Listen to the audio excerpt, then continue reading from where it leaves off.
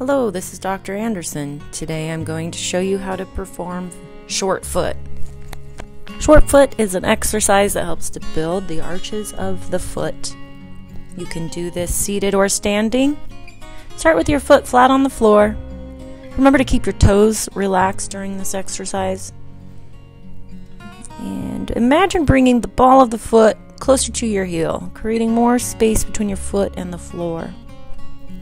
Squeeze for two seconds and then release.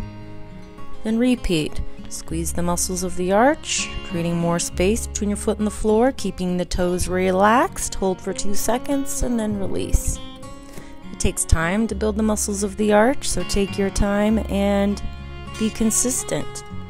If you're experiencing pain in the foot, give us a call at Revive.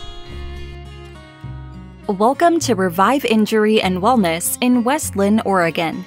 Our experienced team of chiropractors and massage therapist wellness professionals provide the best possible chiropractic care, laser therapy, and massage therapy to patients living with back pain, neck pain, headaches, and a variety of chronic pain conditions.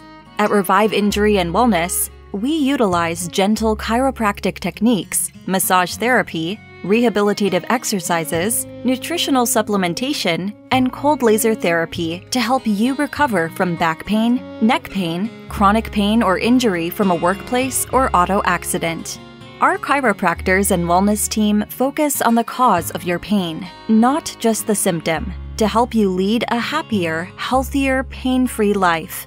We are here for you if you are in search of a chiropractor or accident and injury pain specialist in West Linn, Oregon, in Southeast Portland.